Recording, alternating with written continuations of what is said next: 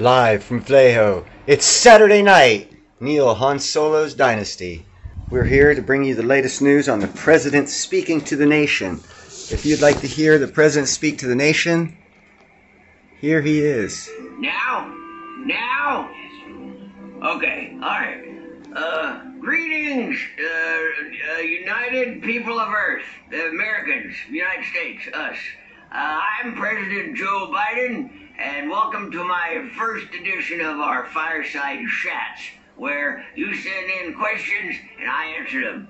These are all real questions submitted by you. Maybe not like you, you, but you know, the next guy next to you, you. Yeah, they were either submitted at Jeff's live shows on the road when we were there or done online with the clicky thingy and the mouse thing.